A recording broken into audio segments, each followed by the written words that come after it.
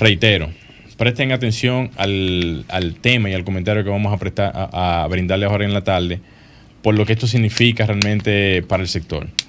Recientemente diferentes artículos han salido desde la misma, desde, la misma ONU, que ha presentado algunos artículos, eh, diferentes organizaciones del sector de la construcción, diferentes, eh, o sea, diferentes personalidades que se han expresado de diferentes formas, dando a entender sus puntos de vista con relación a lo que es la situación que está generando Haití y República Dominicana con el tema de la, de, la frontera y el personal que históricamente hablando se ha conocido como la mano de obra eh, haitiana que incide directamente aquí en el país en lo que es la construcción, que es el motor principal a nivel de lo que es la economía interna, ojo con esto, y también, aunque en menor proporción, proporcionalidad, la parte de la agricultura.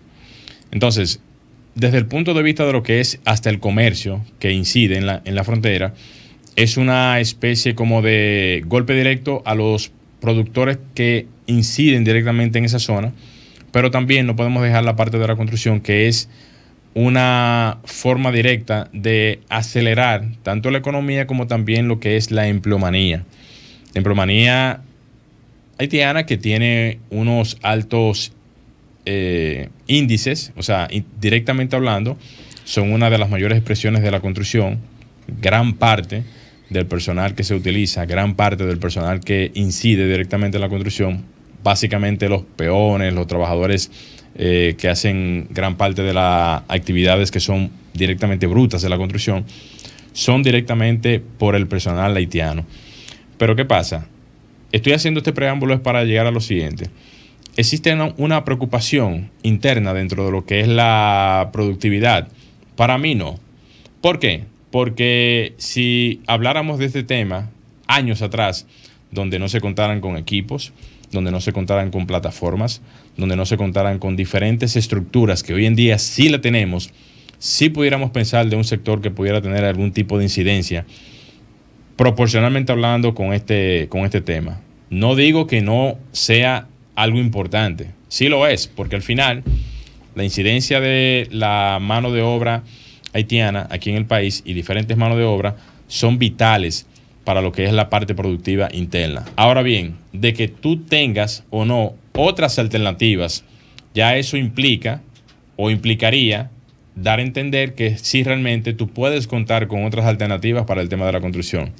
Por ejemplo, cuando se trata de excavaciones, cuando se trata de zapatas, cuando se trata de asuntos de cerramientos, todo ese tipo de cosas ya son perfectamente manejables por un eh, eh, tipo de equipamiento que se tiene para poder atender cada una de esas eh, necesidades. Sin hablar también del tema de lo que es el, flujo interno de, de, ayudantías que se deben de tener para cualquier tipo de servicios internos en la construcción. Y todo esto como parte de las necesidades que se puedan tener para el mismo tema del sector de la construcción. Ahora bien, leyendo un artículo muy, muy fuera de lo que es esta, esta realidad, hay personas que entienden que esta situación puede alterar directamente la economía y los costos de la construcción.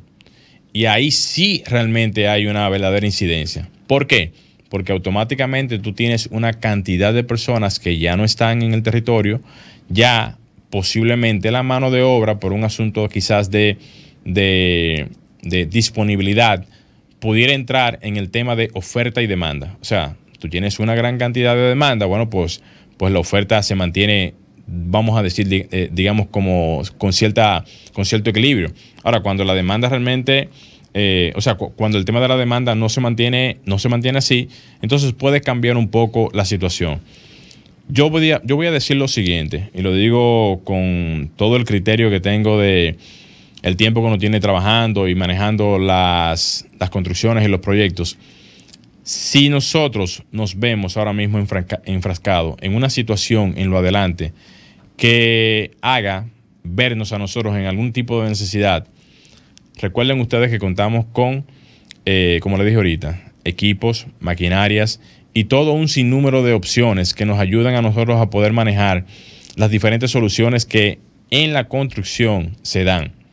Eso pudiera quizás aumentar los costos de manera indirecta en algunos puntos, también quizás maximizar las diferentes utilidades que ahora mismo quizás no se tienen por un asunto de mano de obra, pero en el punto específico de lo que viene siendo la economía, la economía se va fácilmente a robustecer más, porque si no se utilizan mano de obras eh, particulares de este tipo y se utilizan entonces herramientas, maquinarias de otro tipo, entonces al final la economía lo que hace es que crece desde el punto de vista impositivo, porque los costos van a aumentar, pero también crece desde el punto de vista de uso. Los usos de las herramientas y maquinarias que se tienen hoy en día se podrían incrementar y esto haría que el círculo económico que se conoce y se tiene pueda mantenerse en el tiempo. ¿Qué va a pasar con esto y las construcciones? Bueno, que quizás cuando tú tengas un proyecto habitacional o eh, de otra índole, ya los costos te van a subir. Y eso puede hacer, obviamente, que ya el manejo de las inversiones tengan que tener otro tipo de montos. Eso es una realidad. Pero desde el punto de vista de lo que he estado leyendo de posible o no preocupación del sector, para mí eso no es relevante. Hasta aquí mi comentario, señores. Eh, vamos a hacer una pequeña pausa, señores. No se muevan, que enseguida retornamos con el comentario de Luis Taveras.